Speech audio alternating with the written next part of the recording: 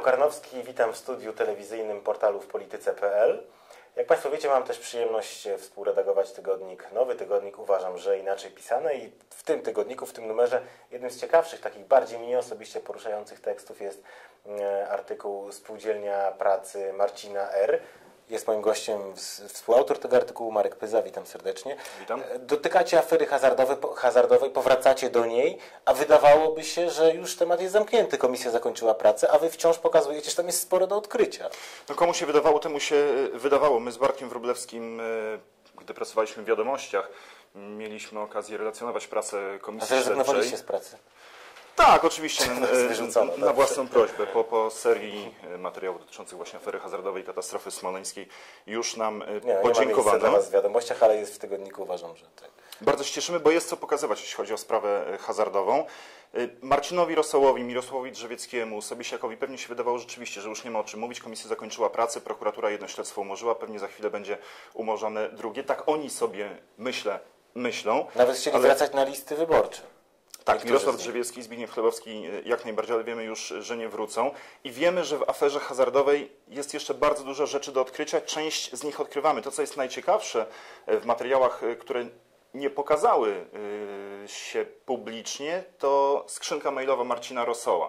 Sławomir Neumann, jeden z posłów Platformy, którzy pracowali w komisji, powiedział nam, że nie było zadaniem tej komisji mm, ustalenie, kto jest winien w tej sprawie, kto powinien ponieść konsekwencje, ale wyświetlenie pewnych mechanizmów, pokazanie, jak to działa. Komisja tego nie zrobiła i dlatego zdecydowaliśmy się opublikować czasem też prywatną korespondencję Marcina Rosoła, ale dotyczącą jego działalności y, publicznej jako szefa gabinetu politycznego I co ministra robił? sportu. E, e, e, Regularnie na masową skalę załatwiał pracę różnym znajomym, tak można y, powiedzieć. To byli, mm, czasem to był mąż bardzo ważnej pani dyrektor z Ministerstwa Sportu, czasem to byli jego jacyś starzy znajomi, ale maile, które wysyłał mm, polecając tych ludzi, są wstrząsające. Ja zacytuję chociażby jeden. W załączeniu przesyłam CV klienta od Mira. Zależy mi, aby realizacja nastąpiła jak najszybciej. Forma umowy dowolna o pracę, zlecenie, termin na pół roku, kwota między 6 a 8 brutto PLN. No, Tysięcy pewnie.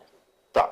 Ale czy tego to, nie znaczy, trzeba komentować. czy to znaczy, że, bo to jest jakby odkrycie, no, raz, że rosół, możemy zapytać, czy by na, przynajmniej zapytać, czy nie kłamał przed komisją śledczą i czy jednak nie warto by wrócić do tematu. To jest pewien odprysk afery A hazardowej. tak. dwa, że to, to, to jednak no, przerażające. Znaczy wiemy, że młodzi ludzie bardzo trudno mają tu, duże trudności z przebiciem się, ze znalezieniem pracy, rzekomo to są konkursy, a tu działa, że tak, maila zatrudnić, maila zatrudnić. Tak działa ten obóz władzy, tak zatrudnia ludzi?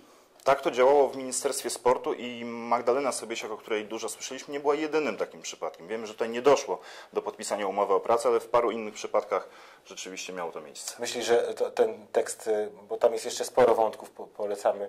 Myślę, że obaj jakoś y, spowoduje powrót do tematu afery hazardowej, czy może już nikt nie jest zainteresowany. Ten temat na pewno wróci, bo 7 kwietnia kończy się śledztwo. Myślę, że nie zakończy się umorzeniem. Marek Pyza, współautor tekstu w tygodniku, uważam, że dziękuję bardzo.